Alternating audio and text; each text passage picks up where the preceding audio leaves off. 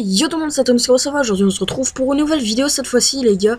On se retrouve pour un wall brush sur GTA 5, donc ça va être un wall brush à côté de l'autoroute, donc je l'ai vraiment trouvé par hasard. Donc vous voyez à l'instant où il se situe, donc il est vraiment au centre de Los Santos, donc je vous montre bien pour bien que vous voyez où c'est. Donc il va falloir que vous soyez en moto, donc vous vous mettez à cet endroit là, et là vous voyez que vous allez aller sous euh, bah, les à côté du mur de briques et vous allez avancer. Donc vous allez voir euh, bah, en fait faut vraiment accélérer.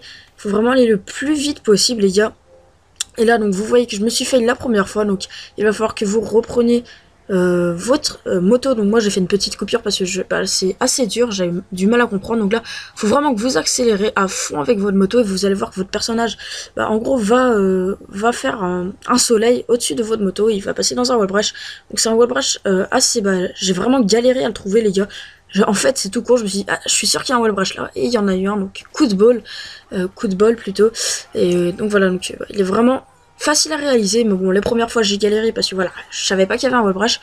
Mais en tout cas, c'est tout pour moi. Vous voyez que c'est un wallbrush d'invincibilité. Vous pouvez tirer à travers. Donc moi, j'essaie de passer sur la glitch à faire. Merci à vous les gars. Si vous m'uploadez, ça fera vraiment plaisir. J'espère que ce wallbrush n'a toujours pas été trouvé et que vous pourrez m'uploader.